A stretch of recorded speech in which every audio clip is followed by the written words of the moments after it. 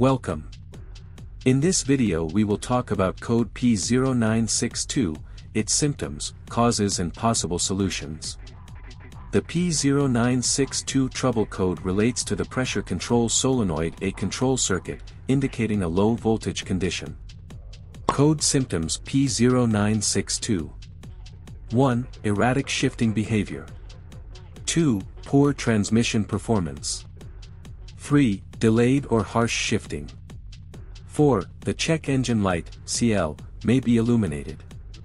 Causes of the code P0962 1. Faulty pressure control solenoid A. 2. Low voltage supply to the pressure control solenoid A control circuit. 3. Wiring or connector issues in the pressure control solenoid A control circuit. 4. Faulty transmission control module, TCM.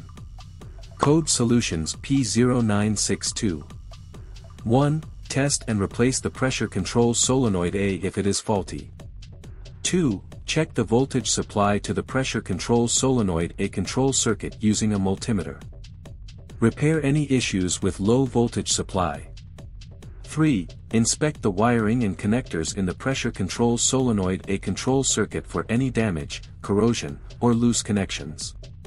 Repair or replace any damaged wiring or connectors. 4. Diagnose and replace the faulty transmission control module, TCM, if necessary. Thank you for watching this video, don't forget to leave a like and a comment, see you next time.